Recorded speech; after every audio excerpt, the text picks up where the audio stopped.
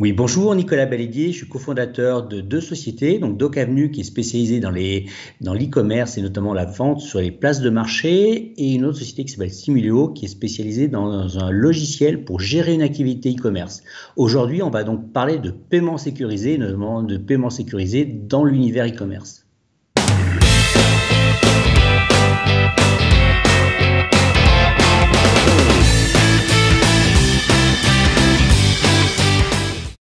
Alors, au niveau du, paiement en ligne, un, commerçant qui vend un, produit en ligne, euh, son objectif, c'est de recevoir donc l'argent euh, de la part du consommateur qui aura acheté, euh, qui aura acheté donc un, produit ou un service.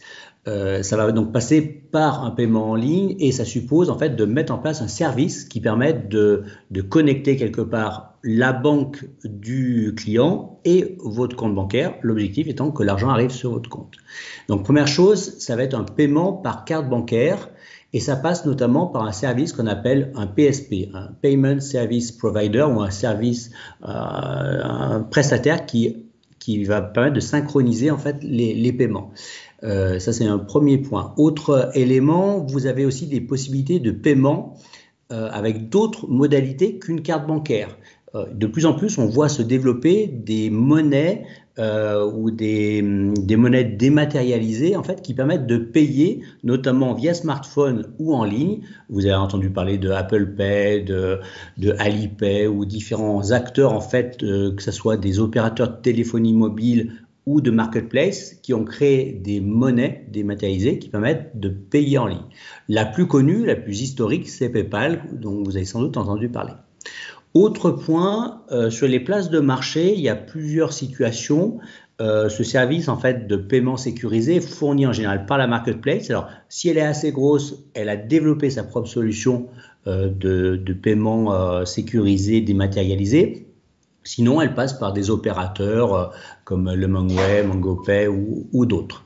Donc, ce qu'il faut comprendre, c'est qu'il y a plusieurs choses. Il y a l'opérateur PSP qui va servir d'intermédiaire et de sécuriser les, paiements. Et puis après, il peut avoir votre banque qui a un autre, euh, un autre opérateur dans la chaîne de paiement.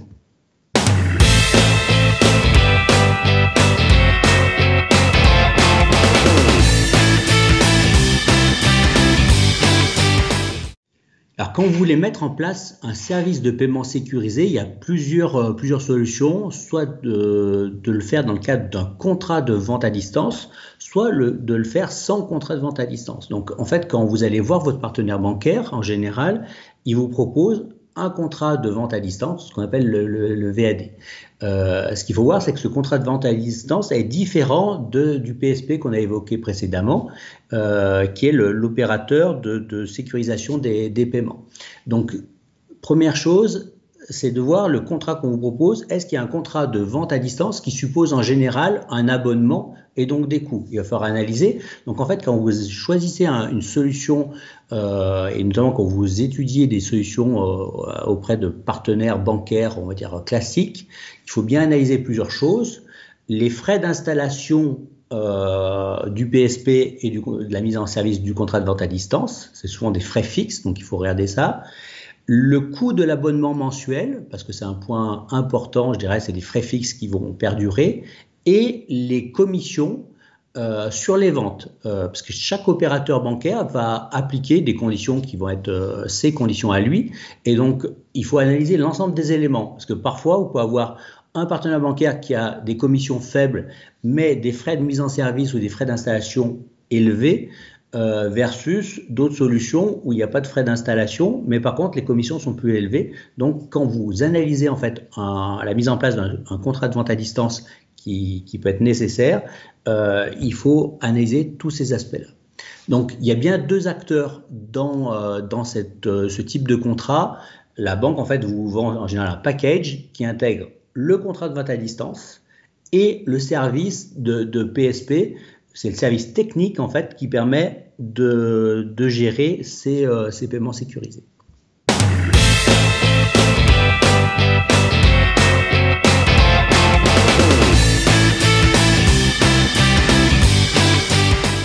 On a vu qu'on peut aller voir une banque pour, euh, bah, pour mettre en place un paiement sécurisé au niveau de son site e-commerce. On peut aussi aller voir des opérateurs alternatifs qui propose un service d'intermédiation pour sécuriser les paiements et être sûr que vous soyez payé.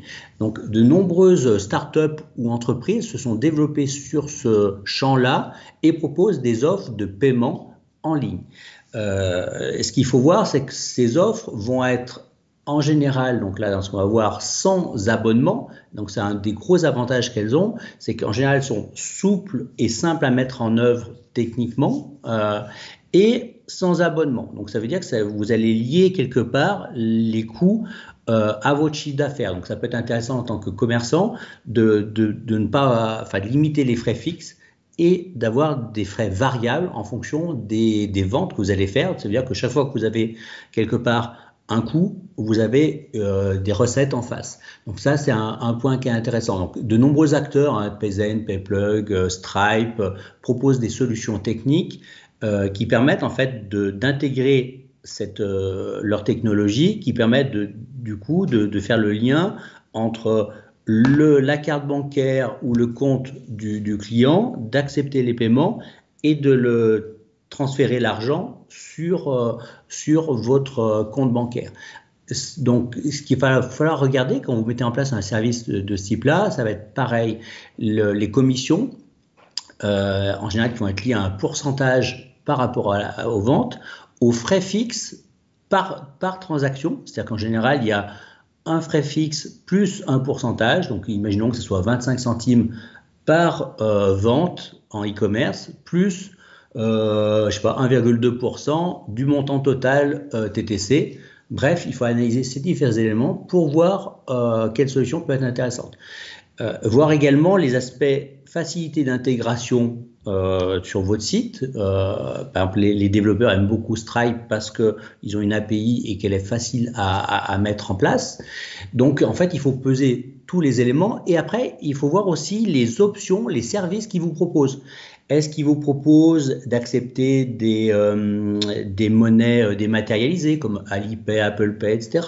Est-ce qu'ils vous permettent de gérer du paiement plusieurs fois? Est-ce qu'ils vous permettent de gérer des abonnements? Imaginons que vous vendiez des box euh, je sais pas, de produits du terroir sur abonnement, bah vous, c'est intéressant d'avoir cette fonctionnalité-là. Donc, quand vous analysez en fait les différents acteurs, les différentes offres, il faut prendre en compte la notion de coût au sens large et en intégrant aussi la facilité de mise en œuvre et de mise en place du service avec vos développeurs ou votre prestataire euh, qui gère votre site e-commerce, mais aussi les différents services qui vous proposent pour être sûr que voilà, l'offre sélectionnée soit celle qui correspond à votre besoin.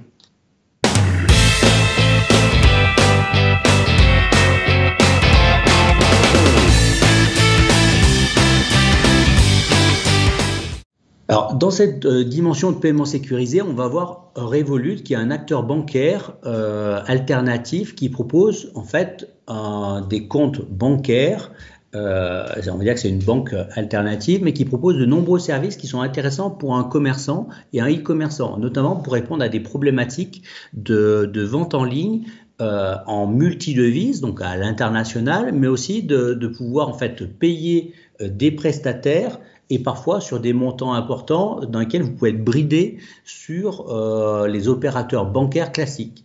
Euh, imaginons que vous ayez des campagnes publicitaires à payer régulièrement à Facebook ou à Google avec des montants importants. Ça peut être intéressant d'avoir une banque alternative qui vous permette de le faire et voire même qui vous permette d'accepter des paiements et de payer en multidevises. Donc Revolut, c'est un acteur qui permet de faire ça, mais il y a de nombreux autres acteurs qui permettent de, des solutions alternatives. Donc, les avantages et les inconvénients. Avantage numéro un, compte multidevise. Vous pouvez vendre à l'international et accepter des paiements euh, en livres sterling, en, toute, monnaie, on va dire. Euh, vous pouvez envoyer de gros montants. Donc, si effectivement vous devez payer des prestataires ou des fournisseurs à l'international, le fait d'avoir la capacité de régler euh, en ligne avec des montants importants est un avantage. Vous pouvez recevoir des sommes importantes. On parle de 250 000 livres par jour ou 500 000 livres par semaine. Il y a possibilité de retirer des cash assez importants euh, et du coup d'avoir un, vrai euh, partenaire bancaire adapté si vous faites de l'international et si vous avez des problématiques importante de, de paiement à l'international ou de transfert d'argent à l'international. Dans les inconvénients majeurs, premier point, ben, il y a un abonnement qui est de 25 euros par mois, donc c'est non négligeable. Et un, autre inconvénient qui n'est pas très adapté si vous faites du, dropshipping, etc. Donc, euh, bon, voilà, je vais m'arrêter là-dessus. Le gros avantage, c'est vraiment pour les acteurs qui font de l'international et qui ont des problématiques de réception de, de devises, de paiement en devises étrangères et surtout euh, avec des coûts de, de, conversion, de taux de change intéressants.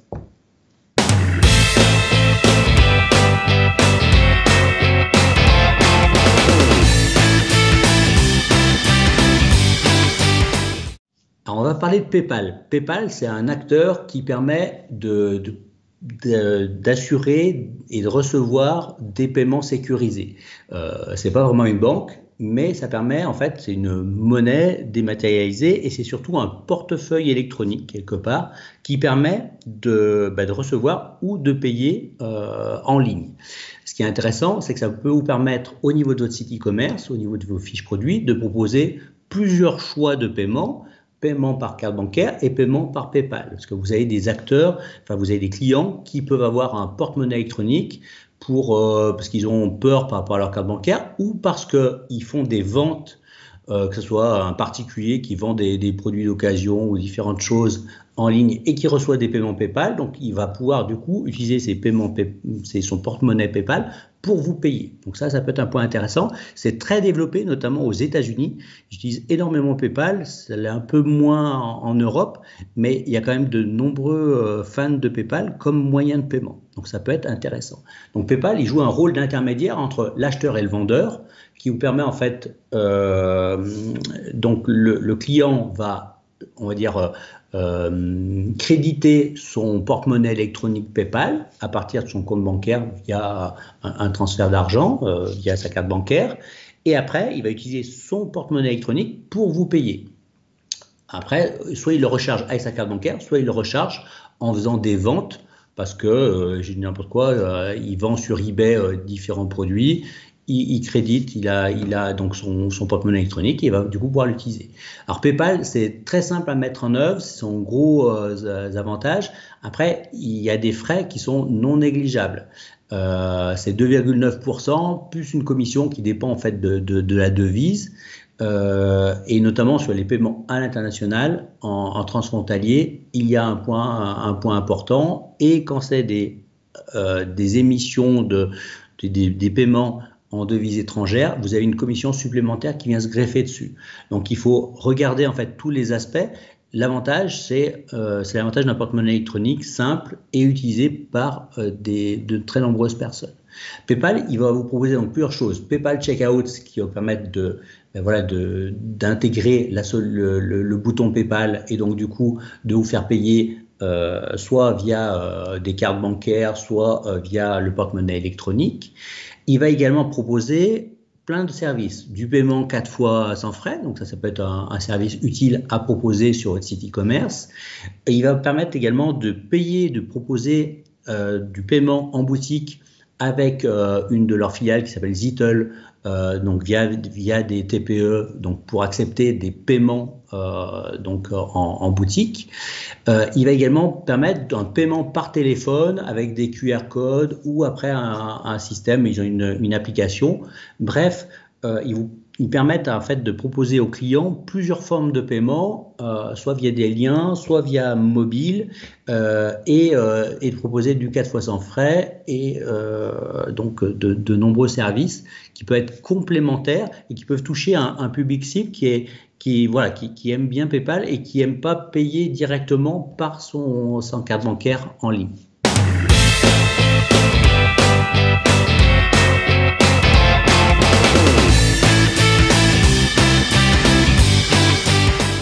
Dans les opérateurs en service en ligne euh, intéressants, il y a Stripe qui est un des acteurs majeurs. Donc on, va parler de, de, Stripe. Donc il permet d'accepter des paiements et bien sûr toutes les cartes bancaires classiques, hein, du Visa, de la Mastercard, de l'American Express. Il va également permettre d'accepter de, des paiements avec des monnaies alternatives comme euh, Apple Pay, Alipay, Samsung Pay, enfin tout type de, monnaie et il est facile à intégrer dans votre site, que ce soit un site euh, WooCommerce ou, ou un site Shopify ou, n'importe quelle autre technologie, les, modules sont déjà présents et, faciles à intégrer. Donc ça, c'est son gros avantage. Il y a quand même des frais de transaction, donc il faut bien analyser. En fonction de si votre client vous paye avec une carte européenne ou une carte non européenne, il y a un, on va dire des frais fixes et un pourcentage qui peuvent être différents. Donc ça, c'est à prendre en compte. Donc une carte européenne, vous avez un frais fixe de 0,25 euros et des frais variables qui vont être de 1,4% du montant de la commande. Euh, Stripe permet d'accepter aussi des, prélèvements SEPA, donc des paiements par virement, donc différents, euh, autres, euh, autres aspects. Alors dans les points intéressants, on va dire le pour et, le contre, les aspects très très positifs, notamment, c'est que c'est en multidevise, en multilingue, donc euh, tout type de langue. Donc, si vous avez un, site e-commerce avec plusieurs langues, euh, le tunnel de vente avec, Stripe euh, va être personnalisé dans la langue. donc c'est très fiable, c'est très reconnu, c'est très sécurisé. Donc ça, ce sont les aspects hyper intéressants. ça accepte de nombreuses euh, monnaie locale, donc ça peut être intéressant si vous faites de l'international. Ça permet de, de, de, gérer des, des, virements SEPA euh, pour recevoir de l'argent. Donc ça, ça peut toucher notamment quand vous êtes en, en clientèle B2B, c'est un, un, un, avantage. Euh, le point un peu, on va dire, inconvénient, c'est même si c'est simple à mettre en œuvre, dès que vous voulez un peu le personnaliser, ou aller un peu plus loin, ça nécessite d'avoir euh, un développeur qui, euh, interagisse avec Stripe pour, euh, pour mettre en place, on va dire, les applications dont vous avez besoin. Donc, que ce soit ou votre prestataire ou un développeur chez vous qui, puisse l'adapter. Donc, c'est voilà, c'est quand même simple, mais dès qu'on veut aller un peu plus loin que le, fonctionnement usuel, dès qu'on veut exploiter un maximum des fonctionnalités, ça nécessite un peu de, de développement.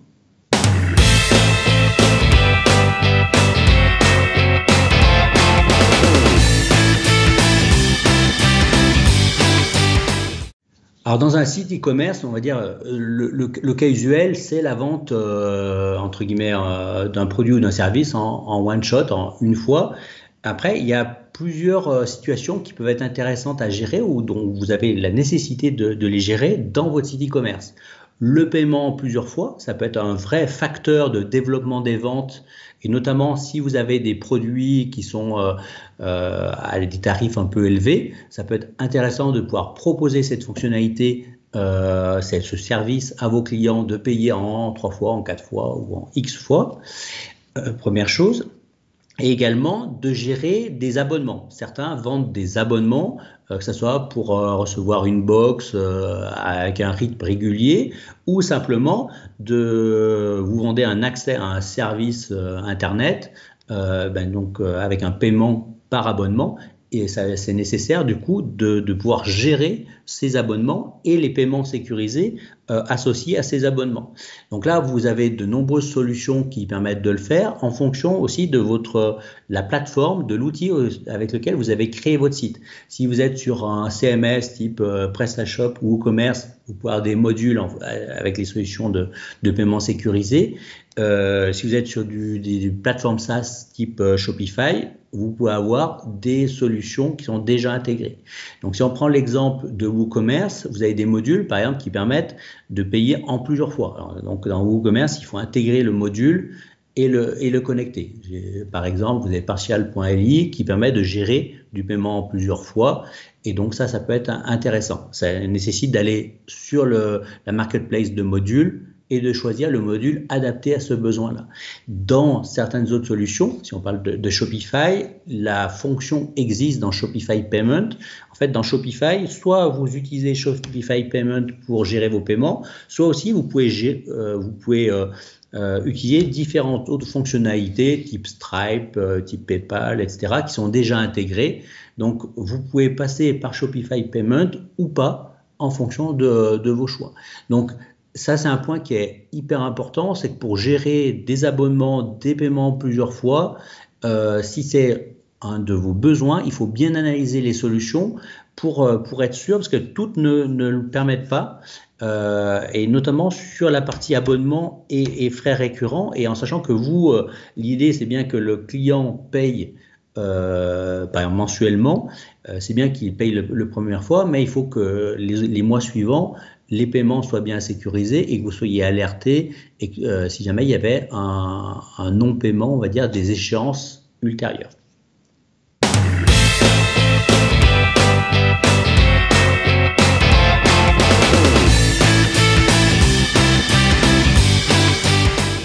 On connaît effectivement en e-commerce la base, on va dire historique, c'est les paiements par carte bancaire. Après, il y a eu l'arrivée de PayPal comme euh, porte-monnaie électronique, moyen de paiement en ligne. Euh, mais depuis quelques années, on voit le développement de nombreuses autres euh, possibilités de paiement et de règlement. effectivement, le paiement sur mobile est la tendance majeure. Donc, ça veut dire que de nombreuses solutions en fait proposent un paiement sur mobile. Euh, et ce qui est intéressant et important d'intégrer, c'est euh, le fait que de, nombreuses, euh, de nombreux moyens de paiement qui existaient en, mode papier, entre guillemets, si je parle par exemple des chèques vacances, des tickets restaurants, euh, des passes culture, enfin bon, différents systèmes qui existaient en version papier, euh, sont dématérialisés au jour d'aujourd'hui et il est important pour vous, si vous êtes dans, par dans le secteur de, de, la restauration ou si vous êtes dans le secteur culturel, de pouvoir accepter ces modes de paiement alternatifs parce que, parce que les clients ayant des possibilités de paiement euh, de ce type-là attendent de l'e-commerçant chez qui, chez, chez qui ils vont ou de l'opérateur touristique euh, qui, qui, euh, sais pas, qui organise un festival et, et ils attendent de pouvoir payer avec leur passe culture dématérialisée ou si c'est un restaurant de payer avec son ticket, sa solution de, ticket restaurant dématérialisé. Si c'est vous êtes chambre d'hôte, ben, peut-être qu'il attend de payer avec avec ses chèques vacances en version euh, dématérialisée mobile. Donc ça, c'est un point qui est très important. C'est euh, si vous avez, si, dans votre secteur d'activité, vous avez en fait des, euh, moyens de paiement qui sont passés en mode dématérialisé, euh, il est important en fait de pouvoir intégrer ces possibilités de paiement parce que du coup, ça peut être un critère de choix important pour le consommateur. Euh, parce qu'à un moment donné, je vais prendre un exemple, il a encore 500 euros de chèque vacances, mais qui doit passer avant avant une période de deux mois, trois mois, ben, le choix en fait de son lieu de vacances va dépendre de l'acceptation ou pas euh, de, de, du, chèque vacances dématérialisé. Donc ça, c'est une tendance de fond. On va dire tous les moyens de paiement qui existaient en mode, en mode papier, entre guillemets, ou en mode carte, sont en train vraiment de passer en mode dématérialisé. Et donc, il est important pour vous sur votre site e-commerce de proposer ces options-là, parce que ça va vous permettre euh, de, de toucher de nouveaux clients et, de leur rendre le service qu'ils attendent pour, euh, pour payer.